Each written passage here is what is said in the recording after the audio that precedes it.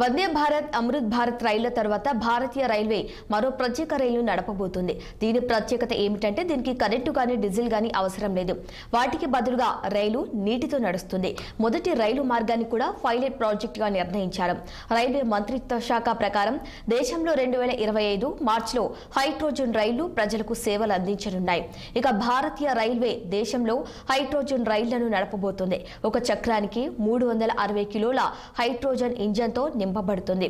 Hydrogen plant నిర్మాణ పనులు కూడా శరవేగంగా జరుగుతున్నాయి. గంటకు నలభై లీటర్ల నీరు దీనికి అవసరమవుతుంది. గరిష్టంగా గంటకు నూట నలభై కిలోమీటర్ల వేగం వరకు ప్రయాణిస్తుంది. తక్కువ శబ్దంతో నడిచే ఈ రైలులో ఒకసారి పూర్తిగా ఇంధనం నింపితే వెయ్యి కిలోమీటర్ల దూరం వెళ్తుంది.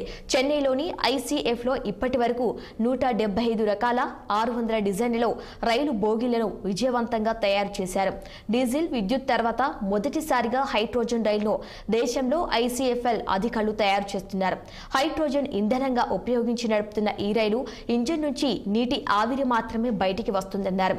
అందువల్ల వీటితో పర్యావరణానికి కూడా ఇబ్బంది ఉండదు. మొదట్లో తయారీ ఖర్చు కొంచెం ఎక్కువైనా డీజిల్ విద్యుత్ రైళ్ళతో పోల్చితే హైడ్రోజన్ రైళ్ళను నడపటానికి ఖర్చు తక్కువే అని తెలిపారు.